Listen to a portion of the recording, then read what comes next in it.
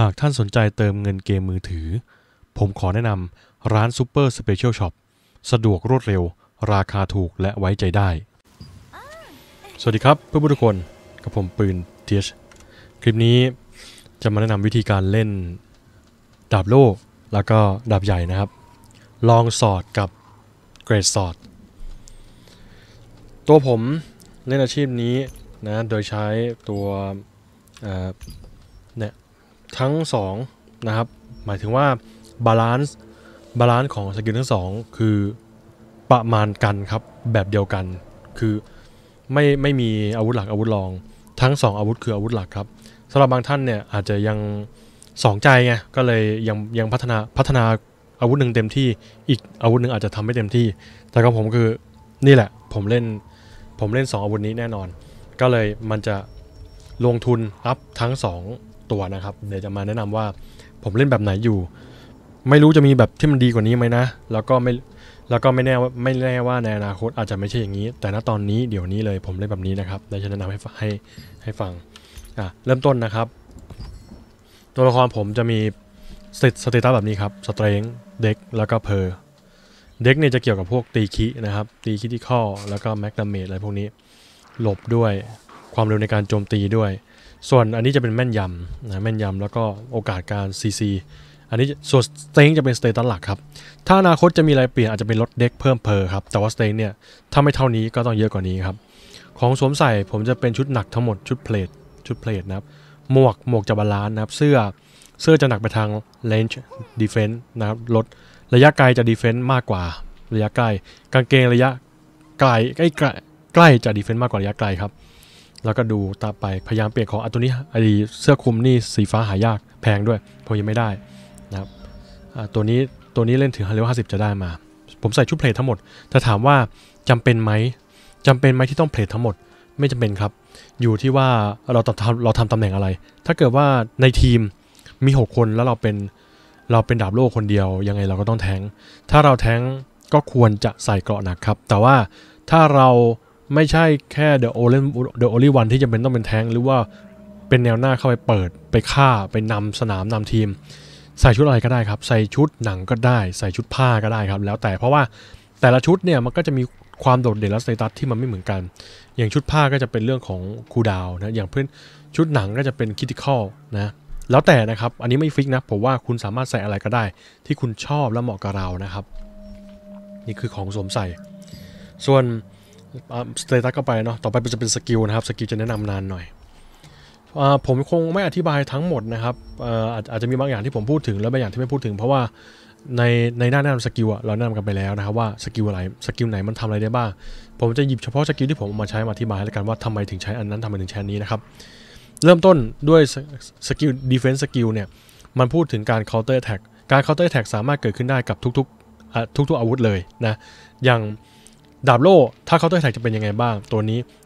อย่างแรกคือ block damage ได้ อย่างที่ 2 คือทำ damage ได้ อย่างที่ 3 คือ heal ได้นะครับ heal ได้ด้วย แต่ถ้าเป็นดาบใหญ่เอามา counter attack จะเป็นยังไง มันจะ counter attack ครับด้วย damage ที่แรงมากครับ แล้วก็จะมี bonus damage ให้ด้วย แล้วจะมีท่าพิเศษให้ด้วย เช่นการนี้ก็จะมีท่าพิเศษให้ ท่าพิเศษเป็นยังไง เมื่อเราบล็อกสำเร็จ เมื่อเราบล็อกสำเร็จนะครับ แต่ต้องต้องต้องรอการ fury attack จากศัตรูก่อน fury attack เป็นสีม่วง เราต้องบล็อกสำเร็จก่อน บล็อกสำเร็จเราจะได้สวนกลับทีหนึ่งเป็น skill ของใครของมันครับ แต่ถ้าเป็นอาชีพอาอาชีพของดาบใหญ่ ก็จะมีท่าบล็อกเหมือนกันอ่าถ้าดาบใหญ่เนี่ยดาบใหญ่เวลาบล็อกจะใช้นี่ครับจะใช้ fury เยอะเอ้จะใช้ stamina เยอะ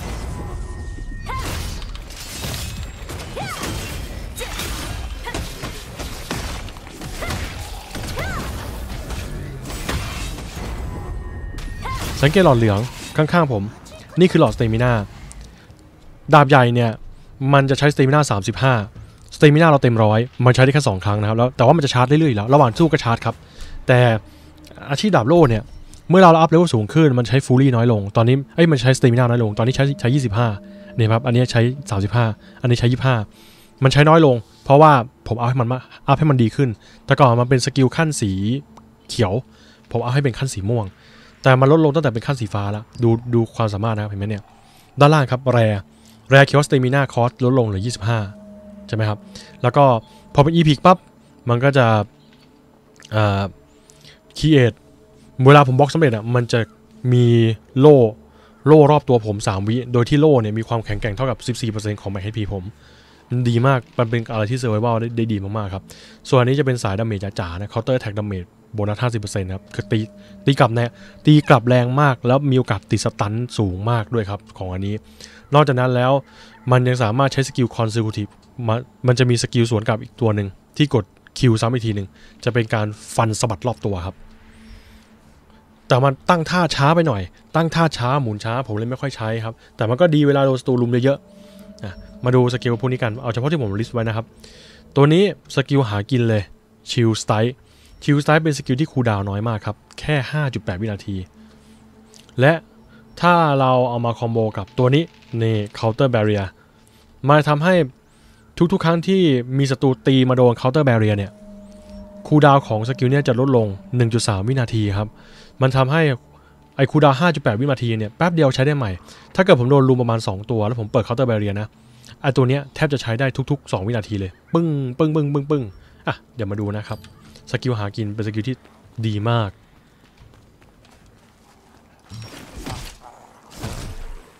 ผมจะตีไปก่อนทีนึงนะครับ แล้วก็กางโล่นี่ เห็นไหม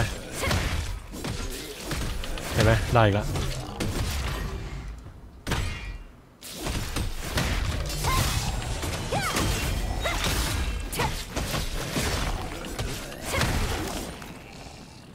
ดังนั้นสกิลนี้ด้วยความที่ cooldown มันน้อย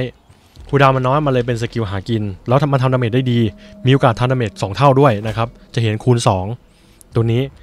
ก็เลยเป็นสกิลที่ควรอัพไปเลเวลสูงๆ แล้วก็ใช้ครับ ผมยังไงผมอัพขึ้น EPIC แน่นอนอยู่แล้ว สกิลนี้ Death Blow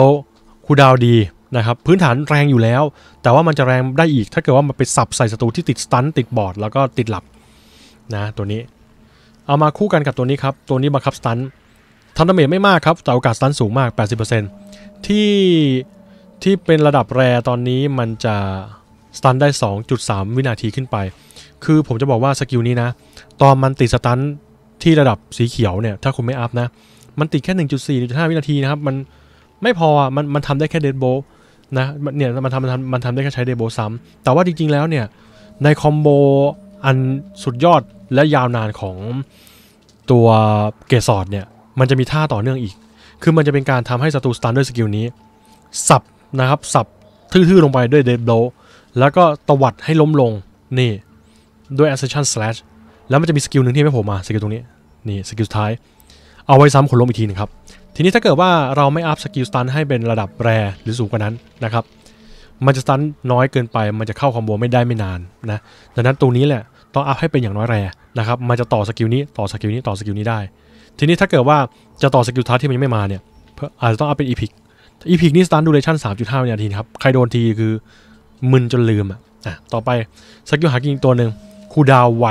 damage ดีสกิลนี้เริ่มต้นเนี่ยมันจะทุบมันจะตี3ทีครับปั๊บปั๊บปั๊บแต่เมื่อคุณทำเป็นทำเป็นแรปั๊บมันจะตี4ทีนี่ให้ดูนะครับนี่นี่นี่นี่นี่นี่มันจะตีโจมตี4ครั้ง โดยที่เขาบอกด้วยนะว่า ถ้า multiple target ก็คือตอนตีเนี่ยมีศัตรูหลายตัวอยู่ตัวกันอะ อยู่รวมๆกันเนี่ย มันจะตี4ทีสลับกันครับ ปรับปรับปรับปรับแต่โดยที่ฮิตสุดท้ายนะครับ ฮิตสุดท้ายเนี่ยจะแรงเป็น 323%คือฮิตสุดท้ายจะแรงกว่าเดิมมาก สมมตินะ สมมติคุณตีทุก ๆ เป้าเนี่ย สมมติตีเป้าเดียวอะ4ทีใช่ไหมมันจะสับ 240 240 240 240 4ทีแต่ถ้าคุณมี 2 เป้านะ มันจะสลับ มันจะสับ 240 240 240 500 กว่า มาดูกัน ตีเป้าเดียว ได้แค่นี้ เดี๋ยวมี2เป้า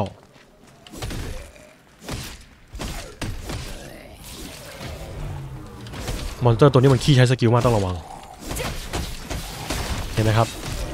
มันจะได้แรงๆอีกหนึ่งฮิต ดังนั้นถ้าพูดถึงแล้ว ถ้าเกิดว่าเราตีเราตีเป้าเดียวใช่ไหมมัน 250 ก็จะ damage damage พันหนึ่งใช่ไหมครับ แต่ถ้าเกิดเราตี 2 เป้า มาเราจะได้ damage รวมกันอยู่ที่พันสองก็คือก็โอเคครับสำหรับในตอนโดนโดนรุมนะหรือจะไม่โดนรุมจะย้ำย้ำเป้าเดียว ก็โอเคก็ดีเหมือนกันในตัวนี้อสามสกิลนะ ต่อไปตัวนี้ dash พุ่งไปแทง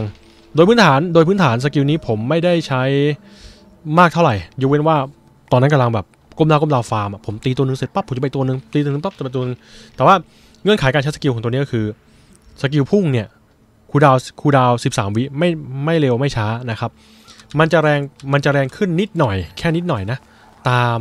ตามระยะทางที่ผมแทงพุ่งเข้าไปแทง ถ้าระยะทางผมสั้น ๆ มันก็ไม่ค่อยแรง ถ้าไกลๆก็แรงหน่อย สั้นๆ160นะครับ เเดี๋ยวรอดูยาวๆดูรอยาวๆต้องกลับก่อนกลับกลับกลับให้วิ่งกลับวิ่งกลับมอนสเตอร์ที่นี่มันตามแบบเวอร์เมื่อกี้ร้อยหกสิบนะ ดี๋ยวเราต้องแทงที่ระยะไกลสุด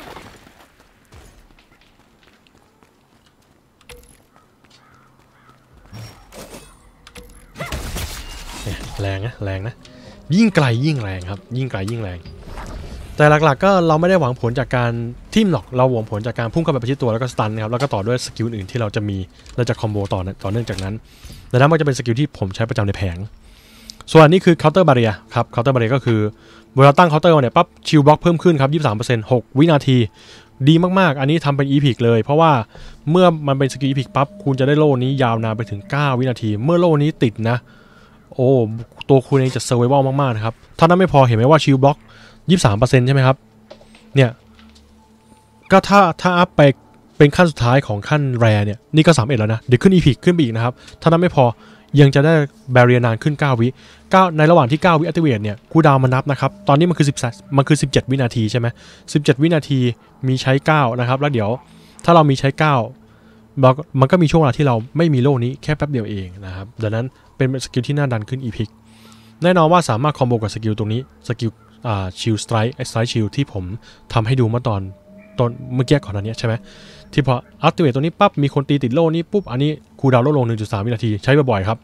ฟาร์มสบายเลยมาตัวนี้ต่อครับนี่ Strategic Rush ตัวนี้เป็นการเอาโล่ทะยานไปข้างหน้าป้าบเข้าไปตรงนี้ ถ้ามันผลักศัตรูได้หลายเป้าเลยรวบผลักไปด้วยกันได้เลย แล้วถ้าผลักไปโดนกำแพงหรือผนังอะไรสักอย่างหนึ่งทุกเป้าจะติด stun ครับ ต่อไปตัวนี้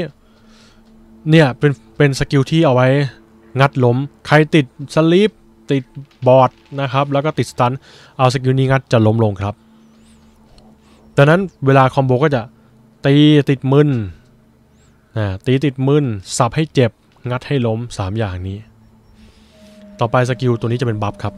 ติดตัวผมไว้ดีมาก แต่ก่อนไม่ดีเท่านี้เขาแก้สกิลใหม่มาเลยใช้เลย แต่ก่อนคือเพิ่มเลือดลดแล้วก็ลดอ่าลด HP regen เดี๋ยวนี้คือเพิ่มเลือดแล้วเพิ่ม HP regen regen สูงมากครับ ดูที่ตัวนี้ นี่ แล้วเลเวล 5 ของระดับ rare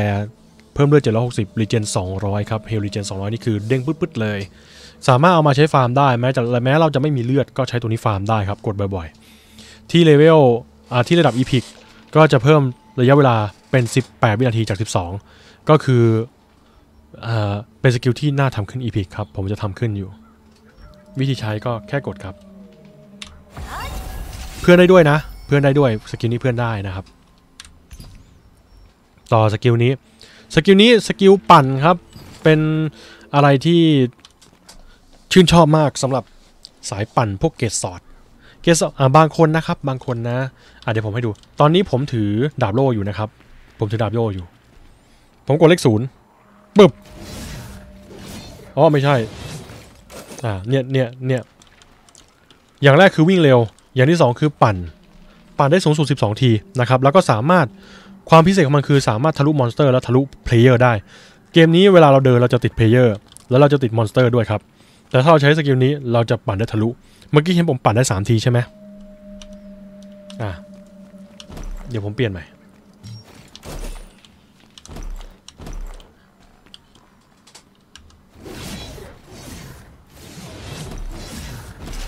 นี่ ถ้าถ้าเกิดว่า อันเนี้ยผมไม่แน่ใจนะ แต่ผมจากที่ผมลองเทสหลาย ๆ ทีอะถ้าอยากปั่นจนครบ 12 ครั้งเนี่ย จะต้องเปลี่ยนนะครับ ต้องเปลี่ยนเป็นถือดาบใหญ่ มันถึงจะปั่นได้ครบ ถ้าเราถือดาบโล่มันจะปั่นได้แป๊บเดียว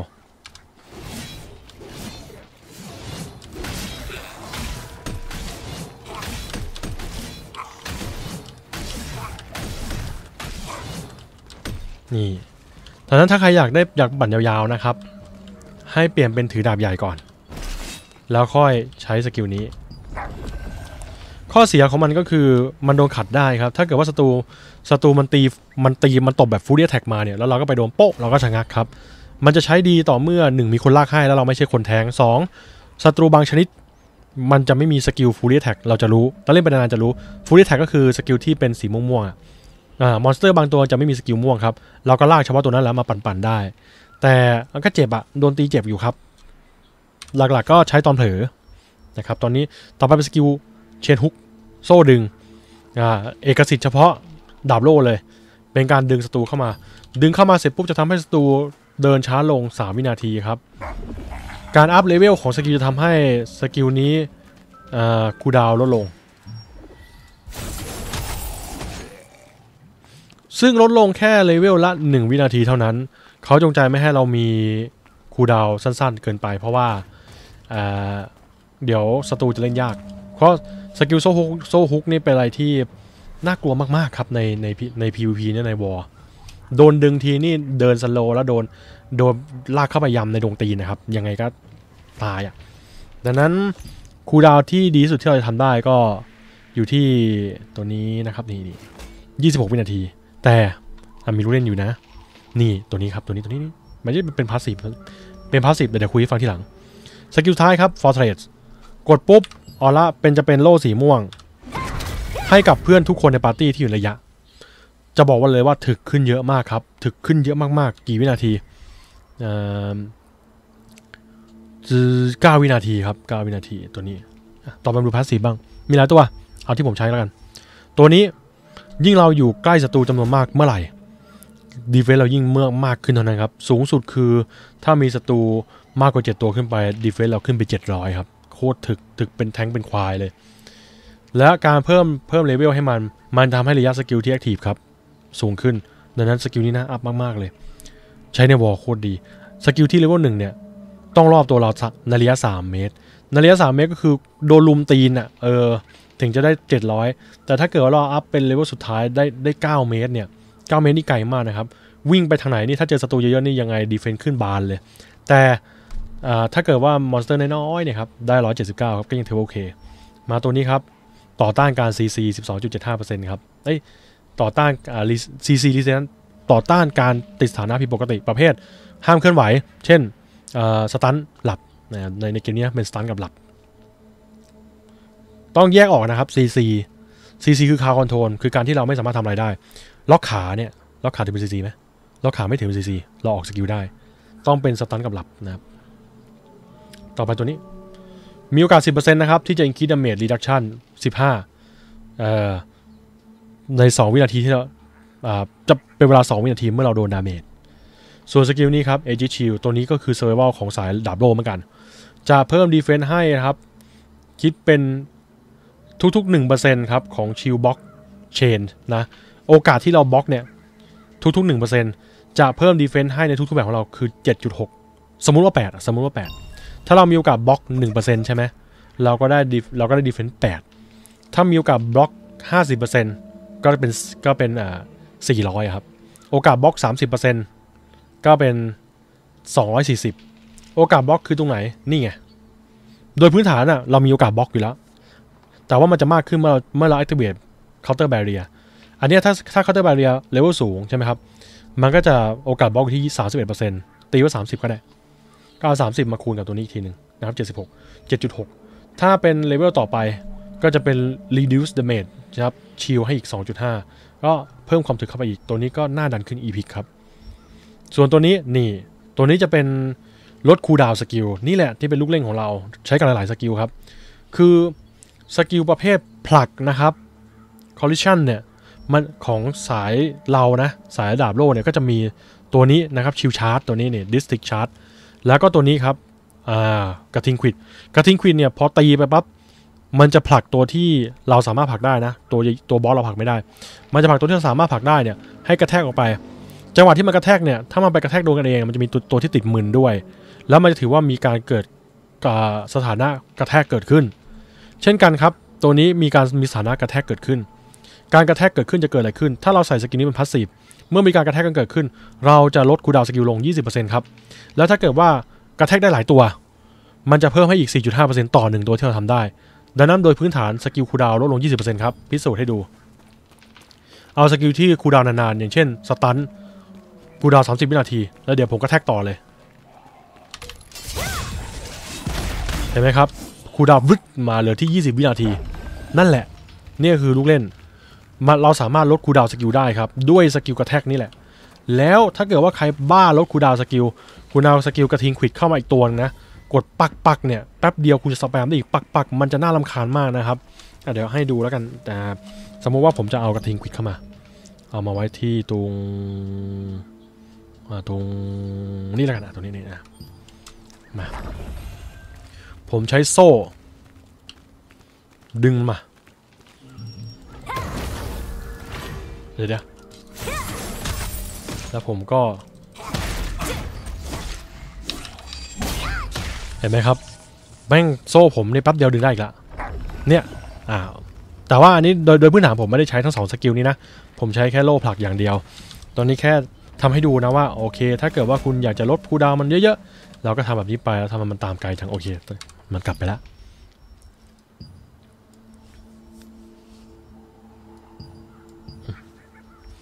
ต่อมาตัวนี้ครับตัวนี้ตัวนี้ตัวนี้ อันนี้คือสำหรับฟาร์มครับ แต่ตอนแต่ตอน war ผมก็ใช้เหมือนกันทุกๆครั้งที่ skill ผมทำ damage skill อะไรก็ช่างแต่ต้องเป็น skill นะตีธรรมดาไม่นับนะครับ มันจะได้มันผมจะได้24 mana กับ7เลือด24 mana บวก7 HP เดี๋ยวค่อยไปไปลองให้ดู ต่อไปตัวนี้อ่า increase move speed ครับ22%ครับ for 3 after after mobility skill use mobility ก็คือ skill เคลื่อนที่ ที่ผมใช้เอามาที่ผมมีไว้ใช้ก็คือตอนนี้นี่ตัวนี้ตัวนี้กับตัว shield charge shield charge ตัวนี้นี่ตัวนี้ครับ shield charge กับตัวนี้ ทุกครั้งที่ผมใช้2 skill นี้ ผมจะวิ่งเร็วขึ้น 22% 3 วินาที ถ้า up level เพิ่มก็ไปเรื่อยๆครับสูงสุด 38 วินาที ส่วนตัวนี้ตัวนี้จะเป็น restore mana ครับแล้วแล้วก็แอนแอนแอนเลือดด้วยครับ ทุกครั้งที่ผมบล็อกสำเร็จนะมันจะอยู่ตัวนี้นี่นี่นี่ตัวนี้ shield block จะเพิ่ม mana recovery นะครับ แต่ว่าถ้าเกิดว่าหลบได้คือสายสายหลบเนี่ยคือดาบโล่ก็หลบได้เหมือนกัน ก็จะเพิ่ม mana recovery ให้ให้หน่อยด้วยนี่อะเดี๋ยวมาดูการฟาร์มนะครับ วิธีการฟาร์มเนี่ยผมสามารถฟาร์มได้ค่อนข้างต่อเนื่องแล้วก็ไวไม่ว่าจะ monster อะไรก็ตาม โดยที่ทักษะโดยว่าโดยเทคนิคในการในการกดนะครับ มันจะเป็นการวน skill ของผมอยู่แค่นี้ 1 2 3 4 5 แล้วก็ 6 ครับ แค่นี้ ถ้าเกิดไม่ต้องมี defense skill defense skill มาช่วยนี่ก็คือไม่ได้ใช้อ่ามีนี่ด้วยสำหรับดึงศัตรูเข้ามา โดยพื้นฐานนะ ผมพอดึงเข้ามาปั๊บเนี่ย ผมจะฟัน stun มาก่อน ฟัน stun สับมัน งัดให้ล้ม ตีฟรีอีกสี่ที ทีนี้ศัตรูจะลุกมาได้แล้วใช่ไหมเอาโล่กระแทกหน้าไปอีกหนึ่ง แล้ว counter barrier จังหวะ counter barrier active ปุ๊บศัตรูมันจะเริ่มตีสวนผมได้ละ skill นี้ก็จะ cooldown ผมก็จะสแปมหนึ่งสแปมหนึ่งสแปมหนึ่ง แล้วมันก็จะตาย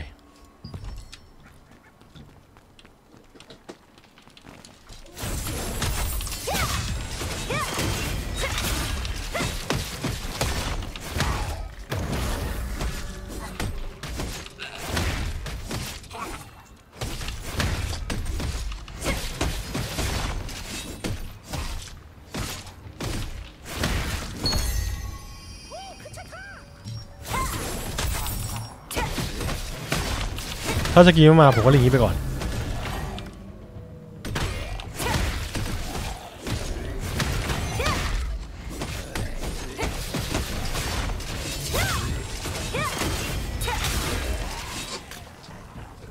ก็จะเล่นแบบนี้ครับประมาณนี้นะ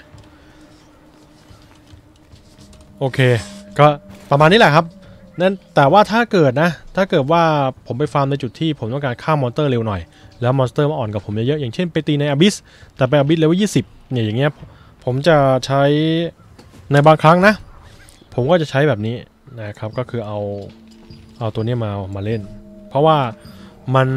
มันแรงแรงมาก มันแรงมาก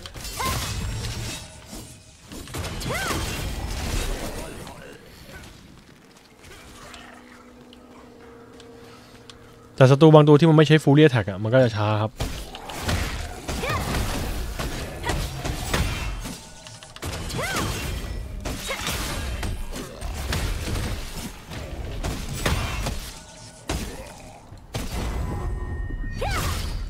เห็นไหมครับว่าศัตรูติดมืนบ่อย เป็นเพราะว่าค่าท่าเคาน์เตอร์ของตัวดาบใหญ่นี่แหละครับ มันมีโอกาสสตันสูงมาก แล้วเคาน์เตอร์แรง พอ stun มันสวนมันแรงใช่ไหม อย่าง skill นี้อ่า skill skill นี้ของผมเนี่ย cooldown stun มันตั้ง 28 วิใช่ไหมครับ แต่ว่าอันเนี้ยมันแค่ 11 ใช่ไหมตัวนี้มันแค่ 26 เนี่ย ถ้าเกิดว่าผม stun ปุ๊บผมก็ตามด้วยตามด้วย death blow ได้ stun เสร็จปั๊บผมตาม death blow ตัด stun เสร็จตาม death blow ศัตรูก็ตายเร็วครับ ตายเร็วมากด้วย ตายเร็วมากกว่าดาบโล่แต่ดาบโล่มัน survival ดีกว่า เพราะว่าสตันปุ๊บอ่ามันก็เด้งเลือดเด้งเลือดครับ มันมันทำให้ยืดได้นานนะ จังหวะโดนลูมนี่อาชีพนี้เป็นอาชีพเดียวครับที่ไม่ตายอาชีพอื่นเป็นตายไปแล้วครับ เดี๋ยวเอาช็อตโดนลูมมาให้ดูแล้วกันนะก็จะประมาณนี้งั้นก็คลิปนี้ยาวหน่อยนะ แต่ว่าก็มาเผื่อใครยังไม่แตกฉานนะครับ ผมก็เอามาเสริมๆให้แล้วกัน อาจจะมีวิธีเซตที่ดีกว่านี้นะ แต่ว่าตอนนี้ผมยังไม่รู้นะครับ ก็เดี๋ยวค่อยปรับปรุงเปลี่ยนแปลงกันไปในอนาคตดังนั้นก็ขอบคุณทุกท่านที่ติดตามรับชมกันหวังว่าคลิปนี้เป็นประโยชน์พบกันใหม่คลิปหน้าขอบคุณมากครับ สวัสดีครับ